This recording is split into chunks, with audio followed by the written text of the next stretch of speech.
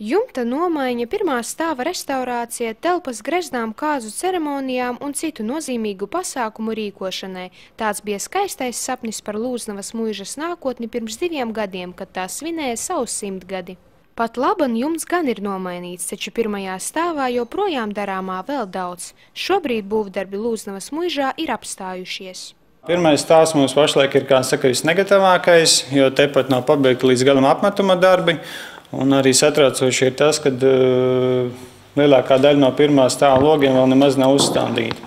Šobrīd bažas sagādā apstākļis, ka ēkā joprojām nav pieslēgta apkure, lai gan tuvāko dienu laikā to solīts izdarīt. Vēl lielāku apdraudējumu kultūras piemineklim rada situācija, ka pirmajā stāvā nav uzstādīti logi.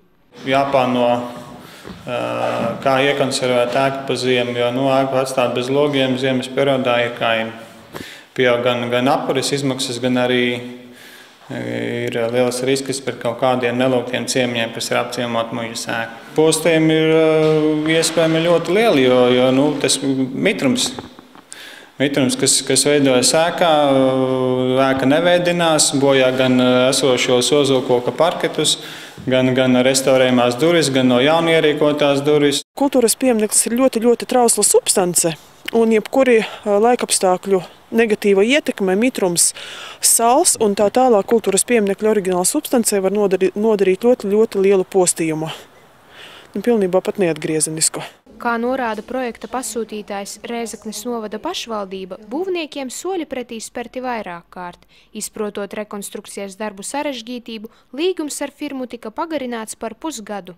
Skatoties pēdējā laika šo rekonstrukcijas darbu norisi, esam tomēr sapratuši un pieņēmuši lēmumu, ka būvniecēji varbūt eh, darba organizācijas tādas neprofesionalitātes un, un, un, un arī finanšu līdzekļu trūkuma pēc esam pieņēmuši lēmumu uzteikt šo te eh, līgumu ar eh, būvniecēju. Neprofesionalitāte tad ir grūti atbildēt, ja mums ir kaut kādi pār pa desmit kultūras pieminekļi uzbūvēti, nu, vai tur ir neprofesionāli. Tas tā grūti atbildēt organizācija, jā, tas varētu būt iespējams, ka tas ir viens no tiem.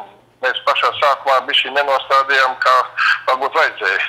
Tur lietas šausmīgi stingri un tā. Nu, tas to var uzņemties. Jā. Un finanšu līdzekļiem, ko lai es saku, par finanšu līdzekļiem, ja man vairākus mēnešus nevarēja, teiksim, maksājums apstiprināt. Ne, Novads jau palīdzēja vēl tur, tā, bet nu, nevarēja no būzraugs no maija mēneša mums jau šobrīd nav parakstītas izpildes. Novads pats maksā ļoti godīgi un kārtīgi. Nu, tur ir tikai dēļ, dēļ, dēļ būvzraudzības, teiksim, mēs nav, nav apstiprināts. Un viņi nedrīkst maksāt, kamēr nav būvzraugs apstiprinājis. Šobrīd līguma laušana nav nesusi lielus finansiālos zaudējumus, taču nākotnē gan tie var iedzīt materiālu robu, jo veicot jauno iepirkumu, skaidrs, ka būvdarbu izmaksas salīdzinājumā ar iepriekšējām pieaugs.